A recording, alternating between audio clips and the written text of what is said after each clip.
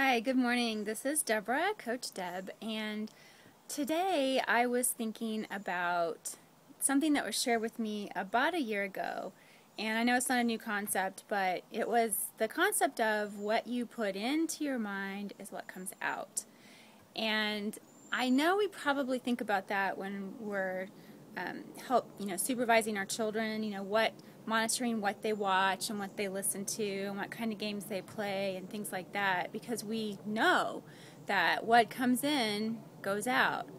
But do we really think about that in regards to ourselves? What we put into our mind is what comes out. And the challenge that I was given about a year ago was to spend 10 minutes a day focusing on or reading a good book or listening to an audiobook, something that was going to edify my mind. And I was rather resentful of that suggestion because the spare 10 minutes a day that I had to read, I wanted to spend it reading my fiction, my romances, my crime dramas, my novels. And, you know, that's my downtime, that's my me time. But I went ahead and took the challenge, and the first book I picked up to read was called The Slight Edge. And I can tell you, just spending 10 minutes a day, I would read it before I went to bed, really changed the way I saw the world, the way I started thinking. And I can tell you, when you start doing this, you will change the way you think, you'll change your outlook on life, your outlook on other people, your confidence, your self esteem, your relationships with your friends and your family, your, you know, not only your personal skills, but your business skills. I mean, it just for me, I know in the past year, it has made such a big difference in my life.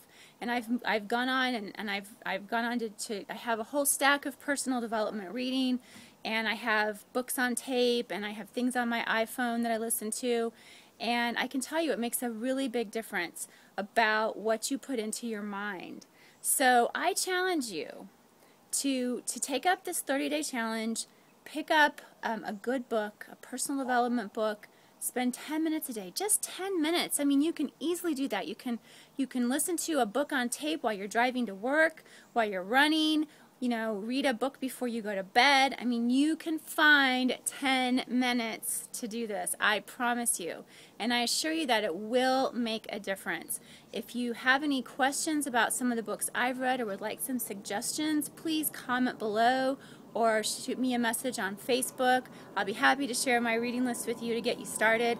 And I really want to hear how this challenge goes for you. I would love to hear how it makes a difference in your life by doing this one small little thing.